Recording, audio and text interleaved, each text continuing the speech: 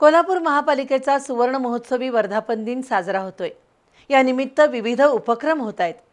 या अंतर्गत स्वच्छता अभियानही राबवलं जाते. शनिवारी उमा टॉकीज इथल्या सुभाष स्टोअर्स या कार्यशाळेतील कर्मचाऱ्यांनी उमा टॉकीज ते गोखले महाविद्यालयादरम्यान स्वच्छता मोहीम राबवली. महापालिकेच्या सुवर्णमहोत्सवी वर्धापन दिनाचं औचित्य साधून सोळा डिसेंबर ते सोळा फेब्रुवारी दोन हजार तेवीस या कालावधीत शहर स्वच्छता अभियान राबवलं जाणार आहे. या अभियानाची सुरुवात महापालिकेपासून झाली आहे. शनिवारी उमा टॉकीज इथल्या सुभाष स्टोअर्स या कार्यशाळेतील कर्मचाऱ्यांनी स्वच्छता मोहीम राबवली. या मोहिमेअंतर्गत उमा टॉकीज ते गोखले महाविद्यालय दरम्यानच्या मार्गावर स्वच्छता मोहीम राबवण्यात आली. रस्त्यावरील कचरा प्लास्टिक थर्माकोल झाडांच्या फांद्या असा दोन डंपर कचरा गोळा करण्यात आला.